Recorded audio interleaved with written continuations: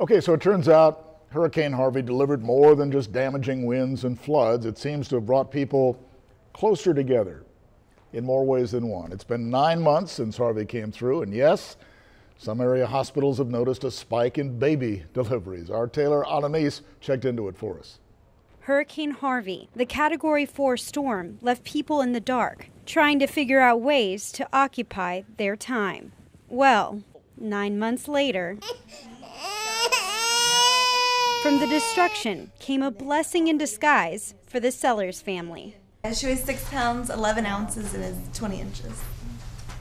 Baby Eve is one of many new bundles of joy at the Corpus Christi Medical Center. About a 17% increase so far in the month of May for deliveries. Whoa, baby. That's about 50 to 60 more deliveries than normal.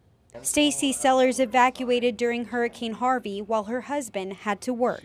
I stayed behind and she came back after uh, the majority of town had power again. And Their reunion was more than they anticipated.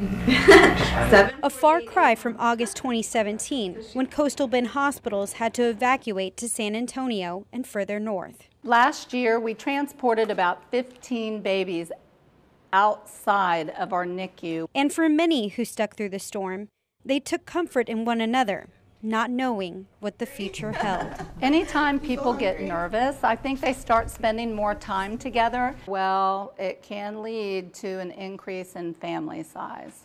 But it's safe to say something good came from Hurricane Harvey in the form of tiny hands and feet. I'm really happy. Taylor Alanis, 3 News. I bet it's so bad. I like all the. So now you know. All right, well, a quick